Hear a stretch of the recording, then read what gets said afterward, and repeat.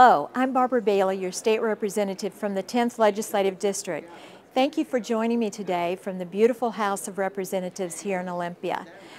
Our legislative session is now in its sixth week and will run through April 26.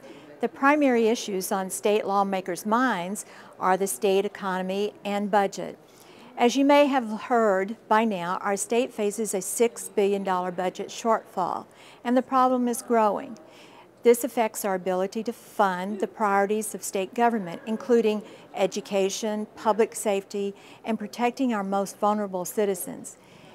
What you might be surprised to hear, and what is often lost in the budget debate, is the fact that our state actually had a $2 billion surplus just four years ago.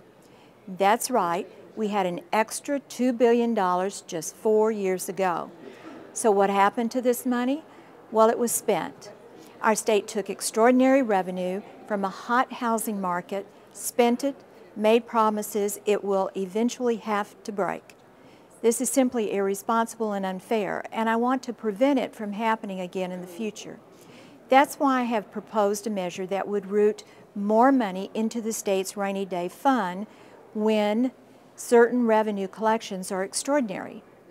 This would require that we amend our state constitution the concept already has bipartisan support in the Senate, including the majority leader and the ranking minority member on the Ways and Means Committee.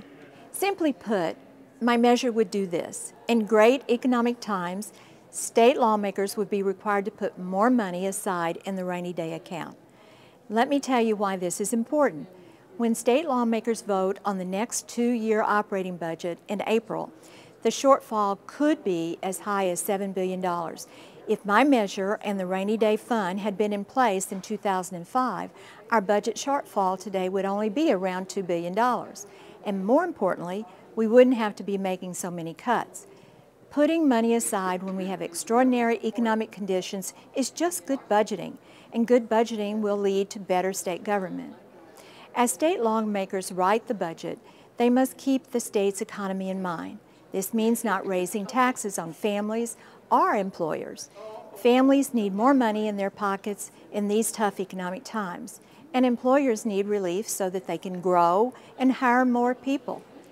I will talk more about ways to stimulate our state economy in the future updates. Well, thank you for your time today. If I can ever be of assistance or if you would like to receive my e-newsletters, please contact me. My information will be provided at the end of this broadcast. I always look forward to hearing from you, the people I am fortunate to represent. In closing, I'd just like to say I am honored to be your state representative. I'm Barbara Bailey. Go out and make it a great day.